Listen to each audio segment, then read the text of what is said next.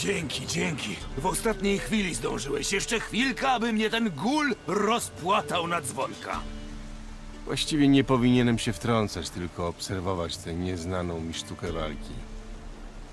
Do jakiej wiedźmińskiej szkoły należałeś? Do cechu ślimaka? Tylko skąd w takim razie masz medalion z głową wilka?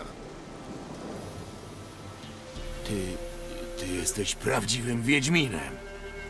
Tak, można nas poznać po tym, że nie moczymy spodni na widok marnego gula.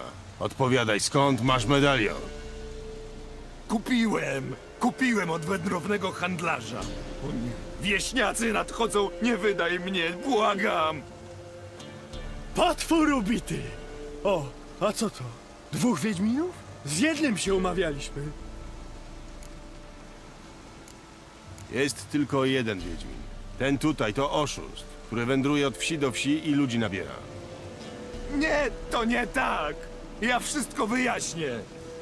Oszust. Mamy tu na takich prawo i nasze własne kary. Dziękujemy, żeście go nam wydali, mistrzu. Zaprowadźcie go do starszego wioski. Pewno.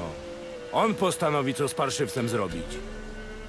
Ostatniemu, co fałszywymi monetami płacił, kazał uciąć rękę. Myślę, że wasz starszy odpowiednio dostosuje karę do jego przewin. Na pewno możecie mu zabrać miecz, a medalion ciśnijcie w ogień. A teraz żegnajcie.